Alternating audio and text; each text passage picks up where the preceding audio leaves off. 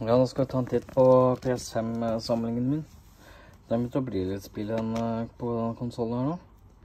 Så kan jo begynne med Call of Duty Black Ops Cold War. Det har jeg spilt ganske mye. Og spillene er svært.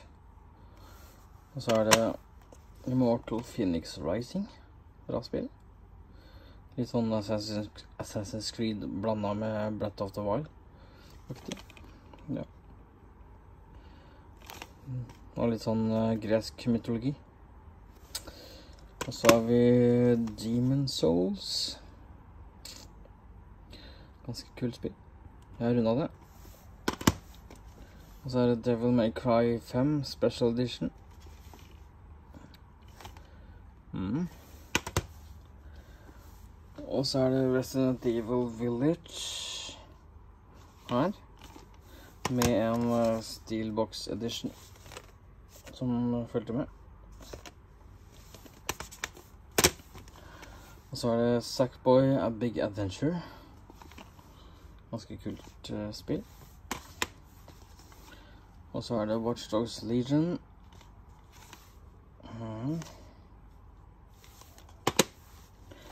Og så har vi Assassin's Creed Valhalla. Det er et veldig bra spill.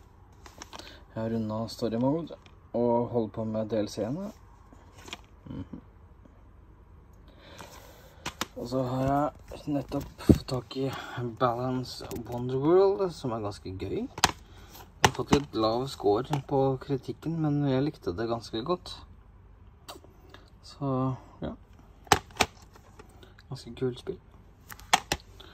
Og så har jeg fått tak i Returnal, som er uh, ganske hardt, tøft spill, egentlig. Ganske vanskelig. Jeg opplevde en bug i går hvor jeg mista alt jeg gjorde fordi PlayStation krasja eller noe. Ikke svart, så da måtte jeg gjøre alt på nytt igjen. Det var veldig kjedelig. Og det samla inn ganske mye. Men, men.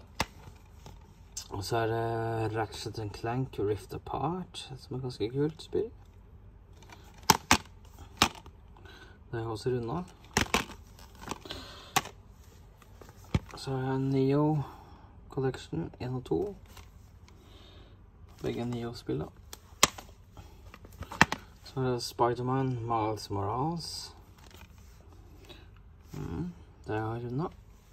Og så har jeg kjøpt meg Scarlet Nexus. Det har jeg ikke fått begynt på ennå, sånn skikkelig i hvert fall. Det skal jeg spille i hvert fall.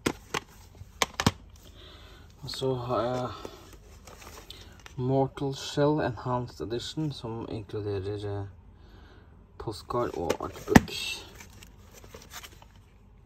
Ja. Ganske stilig Ganske stilig person. versjon. Ja. Så sånn er det. Og der har vi selve konsollen. PC-en. Ja. Så sånn er det.